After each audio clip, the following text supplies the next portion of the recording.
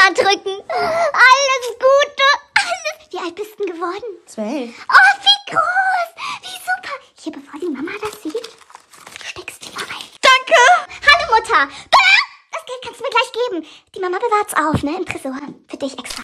Mama, das Geld, Geld habe ich auch nie wieder gesehen. Geil, so viel Geld, halt mich fest. Mich kraut der Bär, ist ja schon als hätte ich Geburtstag. Steck's dir ein. Ich hab's doch gerochen. Das bewahre ich mal lieber auf. Hier. Danke. Hier. Ich bewahr's auf. Reicht.